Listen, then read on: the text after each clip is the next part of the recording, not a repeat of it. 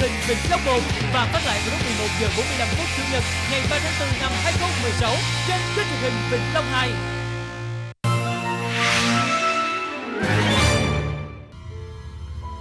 Cuộc thảm sát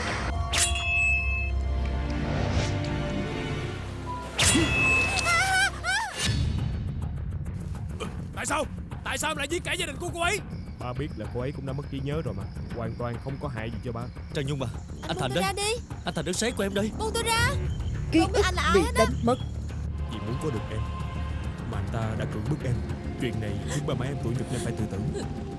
Mày lợi dụng Trang Nhung mất trí Rồi nhét vào đầu cô ấy những điều không hay về tao. Trong đầu cô ấy bây giờ Và những sự thật Mày bị chỉ là một bóp thằng méo. bệnh hoạn đã từng cưỡng bức cô ấy. Đã đẩy cô gái ấy vào vòng tay con trai kẻ thù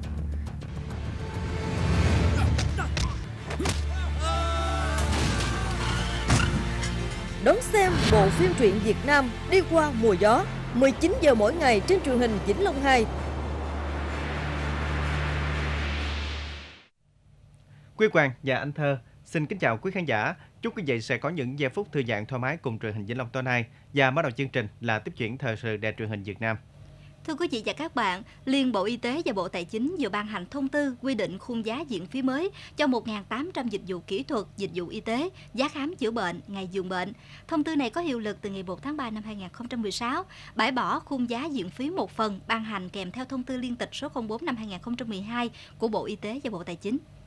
Vấn đề này đang được người dân, mà nhất là người bệnh và thân nhân của họ hết sức quan tâm lo lắng. Vào lúc 19 giờ 45 phút, mời quý khán giả đón xem chương trình chuyện hôm nay với chủ đề tăng viện phí và những hệ quả. Tiếp theo trong giờ phim truyện lúc 20 giờ 5 phút, mời quý khán giả đến với những diễn biến trong hai tập 98 99 của bộ phim truyện Đài Loan Tâm hồn mặt trời. Vì muốn cứu vãn tình thế chia rẽ nội bộ, trí tài buộc lòng công khai thân phận Trương Hùng. Và anh em họ Trương có dựng lại những phi vụ hợp tác với cường sói.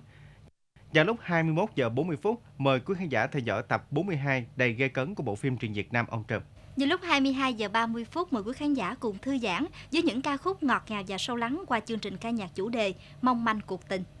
23 giờ là thời gian dành cho chương trình Trái tim nhân ái. Ngay sau chương trình Trái tim nhân ái vào lúc 23 giờ 30 phút là những diễn biến tiếp theo của hai tập 45 46 bộ phim truyện Đài Loan Cô dâu trưởng nam. Và bây giờ mời quý vị và các bạn theo dõi chương trình truyền hình Vĩnh Long 2 tối nay.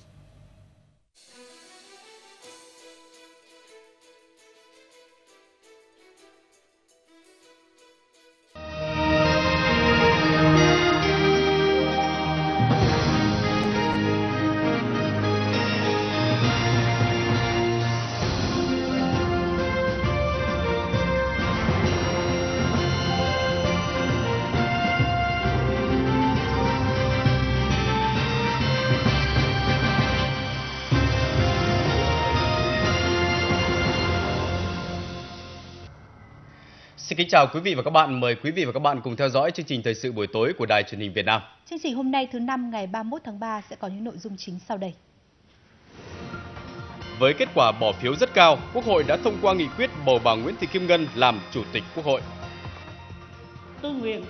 nỗ lực rèn luyện, phấn đấu hoàn thành tốt nhiệm vụ được Đảng, Nhà nước và nhân dân giao phó. Cũng trong ngày hôm nay, Quốc hội đã đồng ý miễn nhiệm chức danh Chủ tịch nước đối với ông Trương Tấn Sang.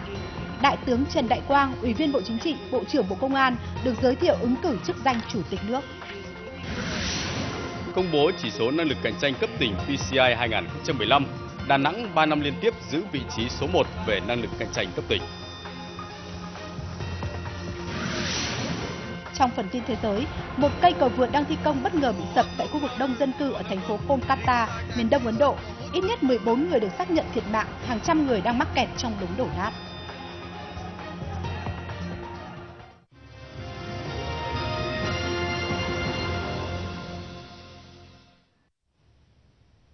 Sau đây là nội dung chi tiết. Thưa quý vị, với kết quả bỏ phiếu rất cao, 95%, Quốc hội ngày hôm nay đã thông qua nghị quyết bầu bà Nguyễn Thị Kim Ngân, Phó Chủ tịch Quốc hội khóa 13, làm Chủ tịch Quốc hội, Chủ tịch Hội đồng Bầu cử Quốc gia thay ông Nguyễn Sinh Hùng. Với kết quả này, đây là lần đầu tiên trong lịch sử Quốc hội Việt Nam có nữ Chủ tịch Quốc hội và cũng là lần đầu tiên tân Chủ tịch Quốc hội tuyên thệ nhậm chức theo quy định của Hiến pháp 2013.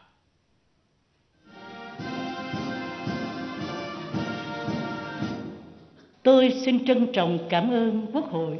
đã bầu tôi làm Chủ tịch Quốc hội nước Cộng hòa xã hội chủ nghĩa Việt Nam. Trước cờ đỏ sao vàng thiêng liêng của Tổ quốc, trước Quốc hội, trước đồng bào cử tri cả nước, tôi xin tuyên thệ tuyệt đối trung thành với Tổ quốc, với nhân dân, với hiến pháp nước Cộng hòa xã hội chủ nghĩa Việt Nam. Tôi nguyện nỗ lực rèn luyện, phấn đấu hoàn thành tốt nhiệm vụ được Đảng, Nhà nước và nhân dân giao phó.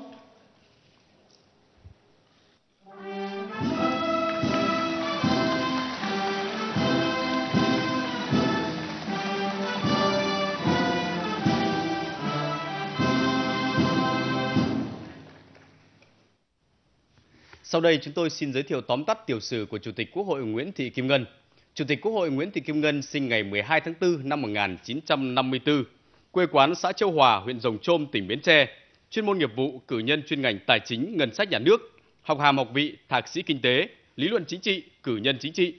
Trong thời gian công tác, bà Nguyễn Thị Kim Ngân đã giữ nhiều chức vụ khác nhau tại trung ương và địa phương. Trong đó, từ năm 1995 đến 2002, giữ chức Thứ trưởng Bộ Tài chính. Từ năm 2002 đến 2006, giữ chức Bí thư tỉnh ủy tỉnh Hải Dương.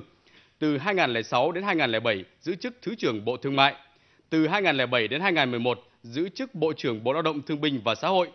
Đồng chí Nguyễn Thị Kim Ngân là Ủy viên Ban chấp hành Trung ương Đảng khóa 9, 10, 11, 12, Bí thư Trung ương Đảng khóa 11, Ủy viên Bộ Chính trị khóa 11, 12, đại biểu Quốc hội khóa 12, 13.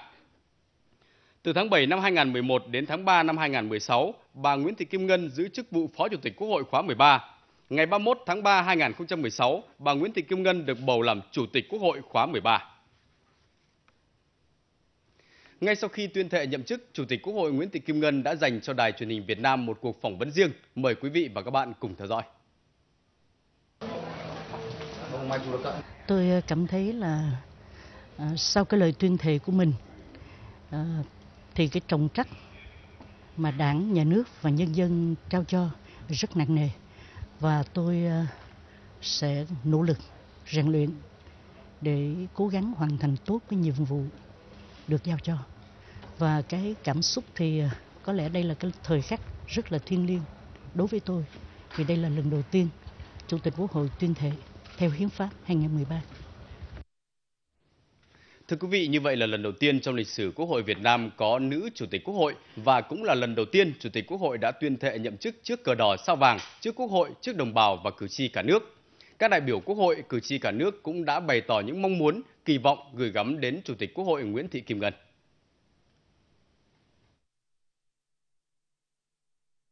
Tôi thấy là vừa xúc động vừa tự hào vì lần đầu tiên mà từ khi cách mạng tháng 8 đến bây giờ thành công thì bây giờ mới lần có chủ tịch nữ, chủ tịch quốc hội. Điều này nó thể hiện gì? Một là cái thể hiện cái cái bước tiến rất dài của cái sự bình đẳng giới của ở Việt Nam. Nhưng mà phải nói là đối với nữ chúng tôi thì điều đó cho tôi nghĩ rất là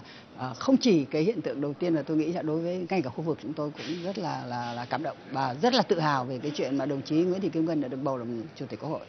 Trong cái lời ờ, tuyên thệ của đồng chí chủ tịch ừ, quốc hội mới ấy, là rất là cô động, xúc tích, đầy trách nhiệm và hết sức ý nghĩa. Tôi mong rằng là nữ chủ tịch quốc hội sẽ có những đóng góp to lớn để lãnh đạo quốc hội thực sự là cơ quan à, dân biểu cao nhất, cơ quan à, quyền lực nhà nước cao nhất. Tôi mong rằng sắp tới đây quốc hội khóa 14 mà trước hết là người dân đầu phải thể hiện cái ý chí của toàn dân của 9 trên 90 triệu dân vấn đề bảo vệ biển Đông một cách toàn vẹn lãnh thổ không phải nói chung chung là chúng ta kiên quyết để giữ vững toàn vẹn lãnh thổ bằng các biện pháp cụ thể của biển và hòa bình để mà giữ cho được cái, về, biển đông. Và lúc có cái biển đông gì thì tôi mong rằng á, là quốc hội phải được đưa ra đặt được trên bàn quốc hội để mà bàn. Ờ, chính vì chúng ta thiên về cơ cấu cho nên là cái tính sắc sảo của đại biểu là chưa nhiều hoặc là đại biểu chưa có cái cơ chế để nói lên được nhiều và thể hiện cái vai trò độc lập của mình thì chủ tịch quốc hội phải là cái người mà uh, đứng đằng sau cái người mà tạo cái nền tảng một cái hành lang để cho các đại biểu có thể nói được hết tất cả những tâm tư nguyện vọng của nhân dân. Chúng ta làm được rất nhiều luật nhưng mà phải sửa luật nhiều, thậm chí chưa đưa vào ứng dụng đã phải sửa rồi. Cái thứ hai nữa là có chiều rộng nhưng mà phải có chiều sâu. Chúng ta triển khai rất nhiều công tác nhưng mà làm sao chiều sâu của mỗi công tác đó nó nhiều hơn nó sang nó cao hơn thì như vậy đó thì cái công việc của quốc hội nó sẽ tốt hơn chúng tôi hy vọng à, bà Nguyễn Thị Kim Ngân sẽ làm tròn cái trách nhiệm của mình. Mong muốn đất nước mình có những cái cải cách sâu rộng, vững chắc và mạnh mẽ để đưa đất nước phát triển nhanh hơn, mạnh hơn cái thời gian vừa qua. Đây là đối với cái giới nữ chúng tôi chúng tôi rất là phấn khởi tại vì à, tôi cũng hy vọng và đặt rất là nhiều kỳ vọng với à, tài năng hiện có rồi à, với những cái uy tín mà đồng chí Kim Ngân đã có sẵn thì sẽ thay đổi được diện mạo mới cho cái một là nói nói riêng là giới nữ nói chung là nhân dân. Cái giám sát của quốc hội giám sát cái thực hiện đường lối chủ trương chính sách của, của luật pháp của nhà nước quốc hội phải giám sát. Mà giám sát phải thật là sâu sát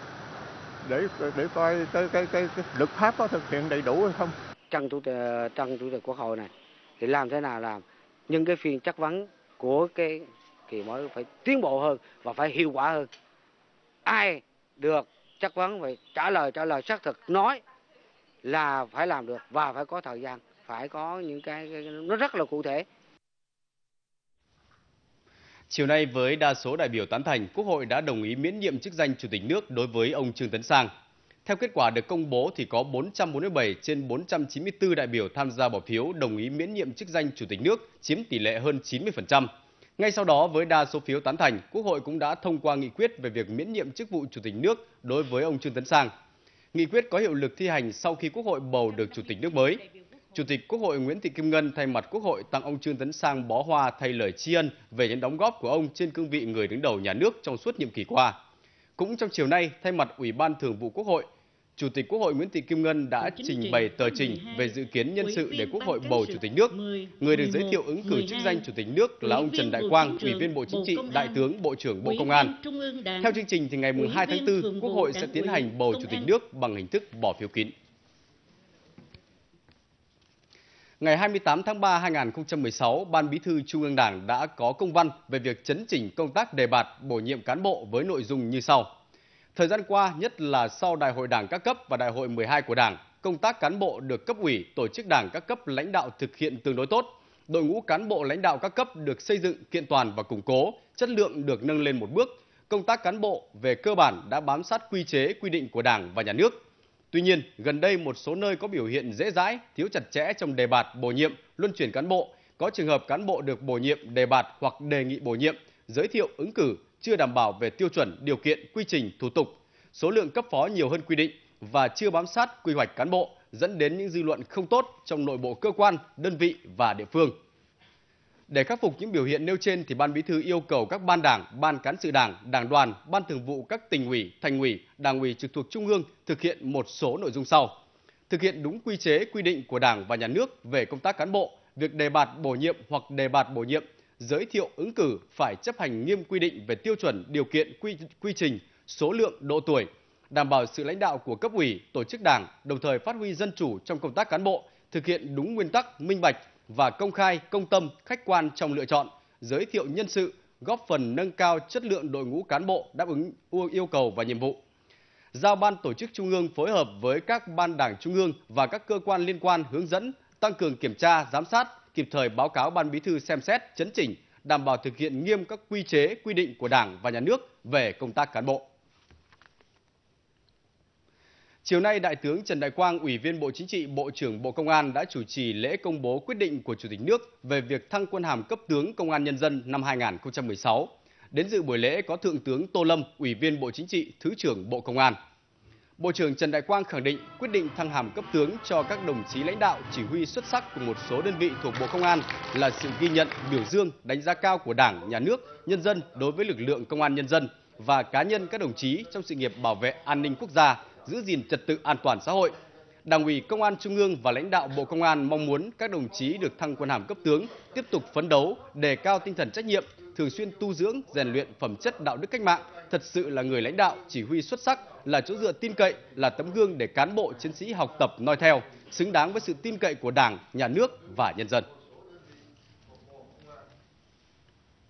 Chiều qua, ngay sau khi đến thủ đô Washington, Mỹ để tham dự hội nghị thượng đỉnh an ninh hạt nhân, Phó Thủ tướng Bộ trưởng Ngoại giao Phạm Bình Minh đã hội đàm với Bộ trưởng Ngoại giao Mỹ John Kerry để trao đổi về các biện pháp nhằm tăng cường quan hệ đối tác toàn diện và chuẩn bị cho chuyến thăm Việt Nam của Tổng thống Mỹ Barack Obama.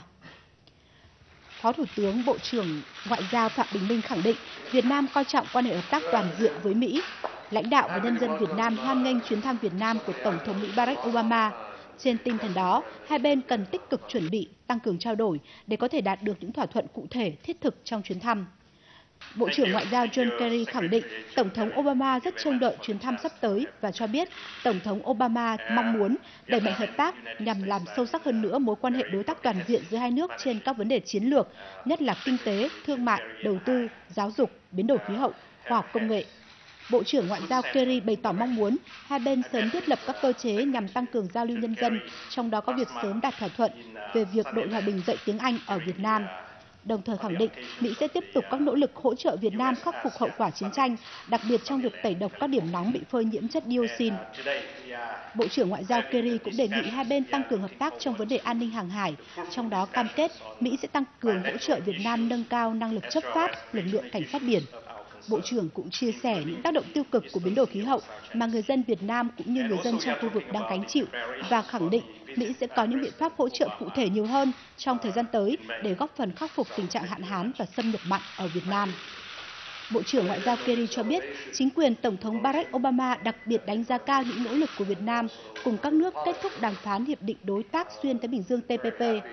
Bộ trưởng Kerry khẳng định chính quyền Tổng thống Obama cam kết nỗ lực để thông qua Hiệp định TPP trong năm nay. Bộ trưởng Ngoại giao Kerry cũng khẳng định phía Mỹ sẽ tiếp tục các nỗ lực thúc đẩy các vấn đề phía Việt Nam quan tâm, nhất là vấn đề công nhận quy chế thị trường của Việt Nam, cùng với thúc đẩy việc trợ giúp kỹ thuật Việt Nam trong quá trình thực thi hiệp định TPP và sớm tạo điều kiện để các cơ quan đại diện của Việt Nam tại Mỹ có trụ sở ổn định theo luật pháp của Mỹ. Phó Thủ tướng Bộ trưởng Phạm Bình Minh và Ngoại trưởng Kerry cũng trao đổi về tình hình khu vực và quốc tế, trong đó có vấn đề Biển Đông. Phía Mỹ khẳng định ủng hộ những nỗ lực đảm bảo an ninh an toàn hàng hải, giải quyết các tranh chấp thông qua các tiến trình pháp lý và bằng các biện pháp hòa bình trên cơ sở Công ước Quốc tế về luật biển năm 1982 và tuyên bố về cách ứng xử của các bên ở Biển Đông phi quân sự hóa và không tiến hành tôn tạo các đảo đá trên Biển Đông, đồng thời ủng hộ xây dựng các cấu trúc liên kết khu vực, trong đó ASEAN đóng vai trò trung tâm. Chương trình thời sự tối nay sẽ tiếp tục với những tin tức quan trọng khác. cạnh tranh cấp tỉnh 2015, Đà Nẵng 3 năm liên tiếp giữ vị trí số 1 với năng lực cạnh tranh cấp tỉnh, vị trí cuối bảng thuộc về Đắk Nông. Cả nước có khoảng 100.000 nạn nhân bom mìn sau chiến tranh, trong đó có 40.000 người đã chết và 60.000 người bị